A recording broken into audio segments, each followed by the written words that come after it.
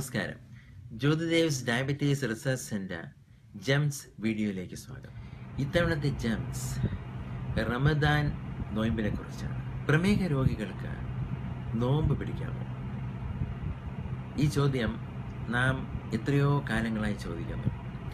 ഈ വർഷത്തിന് ഒരു സവിശേഷതയുണ്ട്. ചരിത്രത്തിൽ ആദ്യമായി ഇന്റർനാഷണൽ ഡയബറ്റീസ് ഫെഡറേഷനും ഡി എ ആറും കൂടി ചേർന്ന് ഡയബറ്റീസ് ആൻഡ് റമദാൻ ഇന്റർനാഷണൽ അലയൻസും കൂടി ചേർന്ന് ഒരു പ്രായോഗിക മാർഗനിർദ്ദേശം പുറത്തിറങ്ങി ഈ മാർഗനിർദ്ദേശങ്ങൾക്കുമുണ്ട് ഒരു സവിശേഷത. ഇത് ഭിഷകരന്മാർ മാത്രം പുറത്തിറക്കിയിരിക്കുന്ന ഒരു മാർഗനിർദ്ദേശമല്ല. ഈ പ്രായോഗിക മാർഗനിർദ്ദേശം മത ഉന്നത നേതാക്കൾ കൂടി ചേർന്ന് രൂപീകരിച്ചിട്ടുള്ളതാണ്. ലോകമെമ്പാടും നൂറ്റി നാൽപ്പത്തി എട്ട് ദശലക്ഷത്തിലധികം പ്രമേഹ രോഗികളായ മുസ്ലിം സഹോദരങ്ങളാണുള്ളത്. നോയമ്പ് പിടിക്കാമോ എന്ന് ചോദിച്ചാൽ മതാചാരപ്രകാരം ഹോളി ഖുറാൻ പറഞ്ഞിരിക്കുന്നത് ഗുരുതര രോഗമുള്ളവർ വ്രതമെടുക്കരുത് എന്നാണ് പ്രമേഹ രോഗികൾ വ്രതമെടുക്കാൻ പാടില്ല എങ്കിൽ കൂടിയും ബഹുഭൂരിപക്ഷം രോഗികളും അതേത് മതക്കാരും ആയിക്കൊള്ളട്ടെ. അവർ ആചാരങ്ങളുടെ ഭാഗമായി വ്രതമെടുക്കാറുണ്ട്. ഹോളി ഖുറാൻ അൽ ബക്കറ നൂറ്റി എൺപത്തി മൂന്ന് നൂറ്റി എൺപത്തി അഞ്ച് ഏവരും ഓർക്കുന്നുണ്ടാകും. ഗുരുതര രോഗമുള്ളവർ വ്രതമെടുക്കുന്നതിന് പകരം നന്മ നിറഞ്ഞ മറ്റ് കാര്യങ്ങളിൽ ഏർപ്പെടുക. പക്ഷേ പ്രമേഹ രോഗികൾ അത് ഏത് അവസ്ഥയിലാണെങ്കിൽ പോലും ഈ പ്രായോഗിക നിർദ്ദേശങ്ങൾ പ്രകാരം ഒരുപാട് ഒരുപാട് ശ്രദ്ധിക്കേണ്ടിയിരിക്കുന്നു. വളരെ ലഘുവായി ഞാൻ അക്കാര്യങ്ങൾ ഇവിടെ പ്രതിപാദിക്കാം. I D F Dar international alliance. Practical guidelines have been endorsed by Shawki Ibrahim Allam.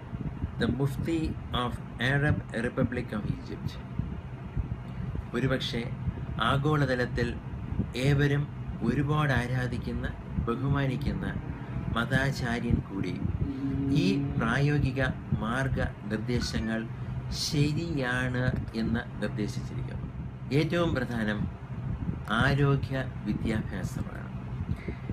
Ramadan നോമ്പ് എങ്ങനെയാണ് സ്വീകരിക്കേണ്ടത് ആ വേളയിൽ രോഗികൾ ഉപയോഗിച്ചു കൊണ്ടിരിക്കുന്ന ഔഷധങ്ങൾ അവയുടെ ഡോസ് അവയുടെ സമയം അതെങ്ങനെ പുനർക്രമീകരിക്കണം?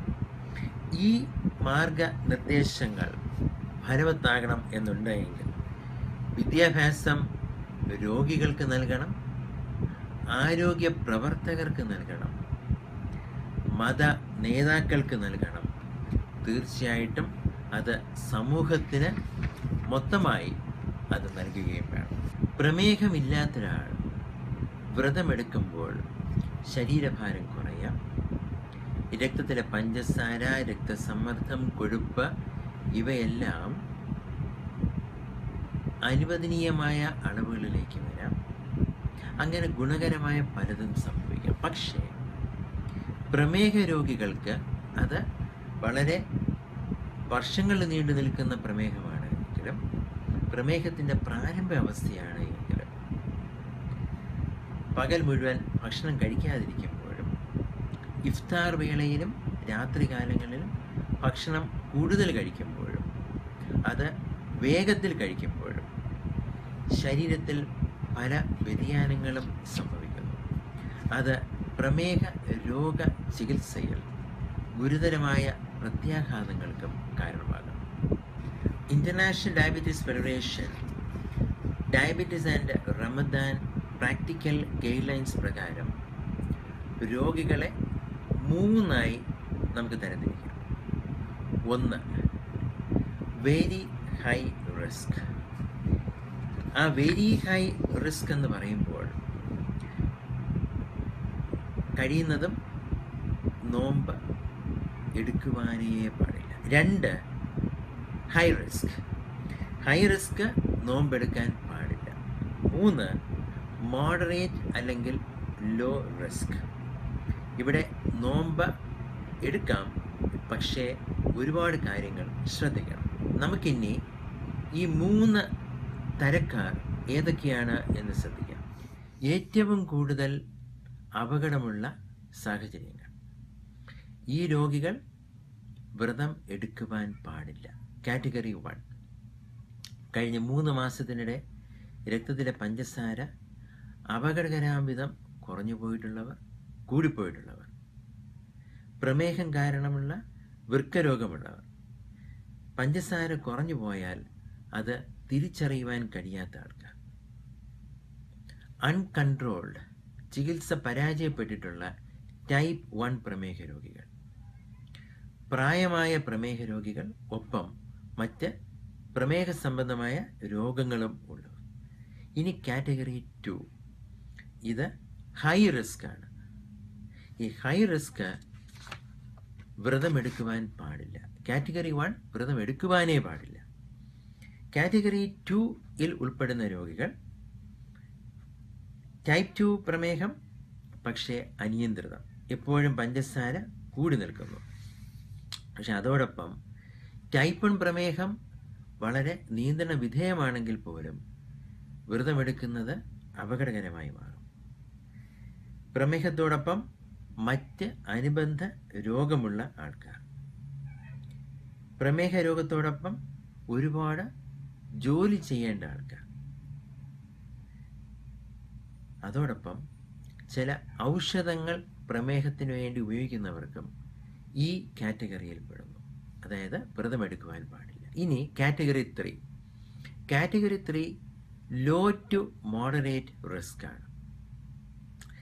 ഈ കാറ്റഗറിയിൽ പെടുന്നത് പ്രമേഹം നന്നായി ചികിത്സിക്കുന്ന രോഗികൾ ഉദാഹരണത്തിന് ഔഷധങ്ങളൊന്നും കൂടാതെ ഭക്ഷണ നിയന്ത്രണത്തിലൂടെ വ്യായാമത്തിലൂടെ പ്രമേഹം നിയന്ത്രിച്ച് നിലനിർത്തി കൊണ്ടുപോകുന്നവർ മറ്റ് ചില പ്രത്യേക ഔഷധങ്ങൾ കഴിക്കുന്നവർ പഞ്ചസാര തീരെ കുറഞ്ഞു പോകുവാൻ സാധ്യതയില്ലാത്ത ഔഷധങ്ങൾ ഉപയോഗിക്കുന്നവർ. ഒരു കാറ്റഗറിയിലും നമുക്ക് നോ റിസ്ക് ഇല്ല. അതായത് പ്രമേഹത്തിന്റെ പ്രാരംഭ അവസ്ഥയിലാണ് എങ്കിലും പ്രമേഹം വന്ന് വർഷങ്ങൾ കഴിഞ്ഞിട്ടുണ്ട് എങ്കിലും വ്രതമെടുക്കുമ്പോൾ അപകടം തീരെയില്ലാത്തൊരവസ്ഥ വരുന്നില്ല. നമുക്ക് തലങ്ങളായി അതിനെ തരംതിരിക്കാൻ കഴിയും എന്ന് മാത്രമേ ഉള്ളൂ. റമദാൻ പുണ്യമാസ കാലത്ത് വ്രതമെടുക്കുന്ന പ്രമേഹ രോഗികൾക്ക് വ്യായാമമാകാമോ? മറുപടി ഇതാണ്. കഠിനമായ വ്യായാമങ്ങൾ പാടില്ല. ലഘുവായ വ്യായാമങ്ങൾ പ്രശ്നമില്ല. വ്യായാമവേളകളിൽ രക്തത്തിലെ പഞ്ചസാര കുറഞ്ഞു പോകുവാനുള്ള സാധ്യത കൂടുതലാണ്. അത് ഓർമ്മ വേണം. കൂടാതെ പ്രാർത്ഥനാവേളകൾ നിസ്കാരങ്ങൾ ഇതെല്ലാം ലഘു വ്യായാമങ്ങളായി കൂടി പരിഗണിക്കാവുന്നതാണ്. ഹോളി ഖുറാൻ നിർദ്ദേശപ്രകാരം പ്രമേഹം പോലെയുള്ള ഗുരുതര രോഗമുള്ളവർക്ക് വ്രതമെടുക്കുവാൻ പാടില്ല. പക്ഷേ അഥവാ നാം നോയമ്പ് സ്വീകരിക്കുവാൻ തയ്യാറാകുകയാണ് എങ്കിൽ വിദഗ്ധ നിർദ്ദേശം തേടുക. അതിന് വിദ്യാഭ്യാസം സ്വീകരിക്കുക. ചില മരുന്നുകൾ ഉദാഹരണത്തിന് പുത്തൻ തലമുറയിലെ ചില ഗുളികകളും ഇഞ്ചക്ഷൻസും രക്തത്തിലെ പഞ്ചസാര തീരെ കുറഞ്ഞു പോകാതെയും കൂടിപ്പോകാതെയും സംരക്ഷിക്കുന്നവയാണ്. ഏറ്റവും നല്ലത് ഒരുപക്ഷെ ഇൻസുലിൻ പമ്പ് ചികിത്സാ വിധിയാണ്. രക്തത്തിലെ പഞ്ചസാര കുറഞ്ഞു പോകാതെ അത് എപ്പോഴും നമ്മെ സംരക്ഷിച്ചു കൊണ്ടിരിക്കുന്നു. ജ്യോതിദേവ്സ് ഡയബറ്റീസ് റിസർച്ച് സെന്ററിൽ ചികിത്സിക്കപ്പെടുന്ന പതിനായിരക്കണക്കിന് രോഗികളാണ് റമദാൻ നോമ്പ് സ്വീകരിച്ചു കൊണ്ടിരിക്കുന്നത് ഇത് രോഗികൾക്ക് കൂടിയുള്ള ഒരു നിർദ്ദേശമായി ദയവായി സ്വീകരിക്കുക ഏവർക്കും ആശംസകൾ നേർന്നുകൊണ്ട് പ്രമേഹ രോഗികൾ എക്കാലവും സുഖമായി സന്തോഷമായി ജീവിച്ചിരിക്കണം എന്നൊരു ആഗ്രഹത്തോടെ പ്രാർത്ഥനയോടെ നന്ദി നമസ്കാരം.